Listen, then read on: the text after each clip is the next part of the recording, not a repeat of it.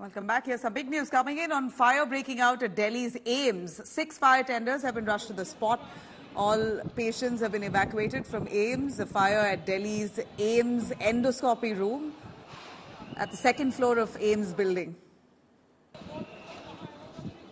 And this is uh, the smoke billowing from the AIIMS building, a massive, uh, sprawling uh, AIIMS complex. The second floor in the endoscopy room, fire has broken out. Kumar Kunal is on the spot, bringing us a lot more on that. Kumar, please give us uh, the, if at all people, patients inside the AIIMS building are safe. Have they been evacuated? What's led to the fire?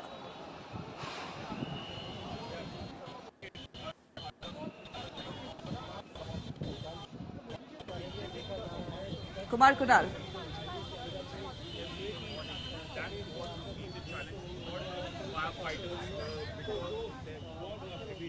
We seem to have uh, a patchy connection there. We're going to try and patch him back, but some scary visuals coming in right from AIIMS building. The fire is broken out at uh, the second floor of the AIIMS complex.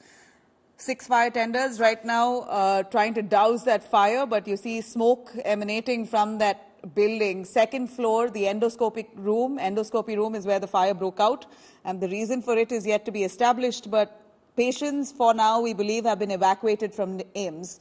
Kumar Kunal, go on. Tell us what's the reason for the fire? Uh, any injuries? Hopefully, we're, we're, um, we believe that patients have been evacuated from there.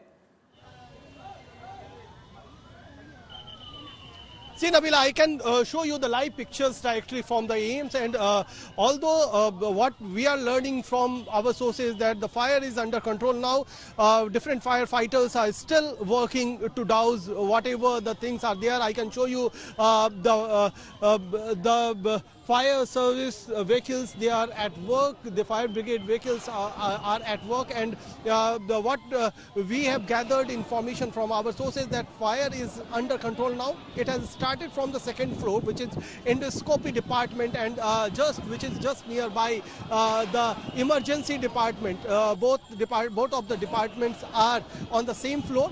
And uh, when the fire broke uh, in the building, it was quite crowded as today is Monday, the first day of week.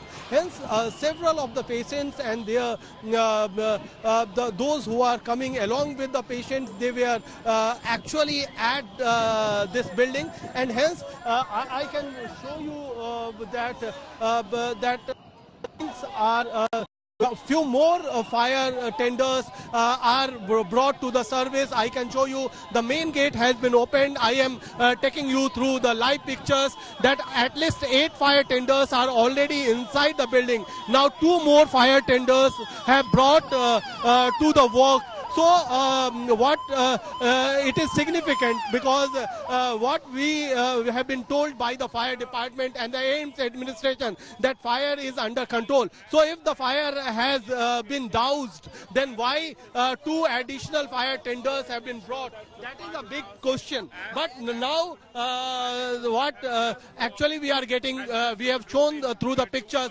that these fire tenders have been brought inside the AIIMS campus and and uh, still, although we are, we can't uh, see uh, the the fire uh, from any of the uh, any of the windows or any of the uh, facets, but still fire tenders are are coming and almost all the patients, all those who were present at that moment inside the building on the second floor, the, they have been rescued. More fire tenders are now coming and rushing towards uh, the uh, building. Uh, one more, two more fire tenders are coming inside the building. So this is the situation right now. I can I, I can show you the, the live pictures which are coming directly from the most important, the biggest, the biggest uh, hospital in the country, which is All India Institute of Medical Sciences. So uh, this is the situation,